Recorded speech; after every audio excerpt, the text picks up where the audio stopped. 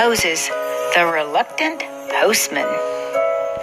God had just given Moses a big job go back to Egypt and get God's children out of there. This sounds like happy news, doesn't it? Yay, God's children are going to be freed. But Moses wasn't exactly jumping up and down with happy feelings. God was basically saying he needed a delivery man, someone to deliver the people out of slavery. But Moses wasn't sure he wanted to be a delivery man. You know what a delivery man is, right? If you want a package to get delivered from one place to another place, you need a postman, a delivery man. The delivery man takes the special package from one place and delivers it to another place. As we learn about Moses, watch how his job doesn't just stop at getting God's family out of Egypt. Moses is going to have to deliver God's family all the way to the front door of the promised land. They wouldn't just be saved from their hard life of slavery, but they would be delivered all the way to the promise the milk and honey. Delivered from slavery to freedom. Delivered from a problem to a solution. That's what a good leader does. Moses had tried to help his Israelite brothers before, and that had almost gotten him killed. So Moses wasn't sure he wanted to help. He'd already blown it once. God, who am I that I could ever be good enough to be allowed to talk to the king of Egypt for you or lead all your people? I am just little stuff. I'll be with you, God answered. That should have been all Moses needed to hear. It didn't matter what had happened 40 years before.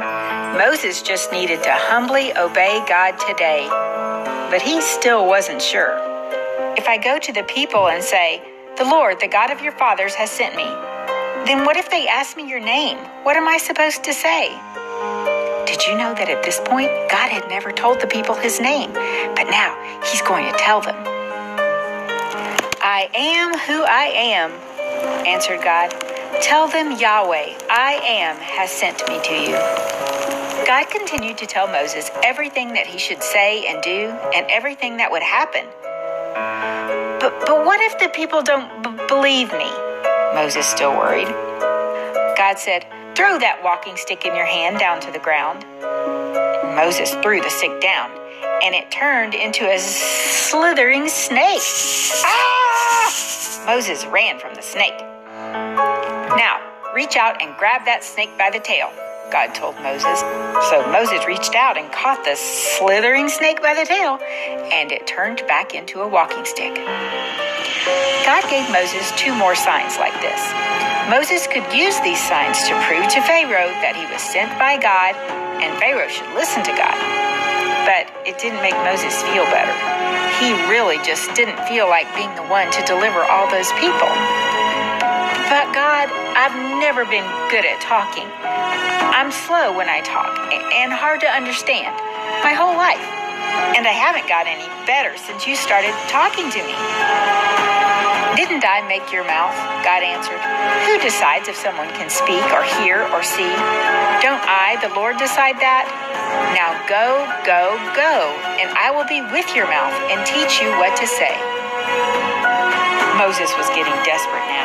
He tried one last time to try to convince God that he was the wrong guy to send. Lord, find someone else, anyone else, but not me. God had had quite enough of this conversation and was getting a bit angry at Moses. Finally, God just said, Okay, your brother Aaron can speak well, so he can speak for you.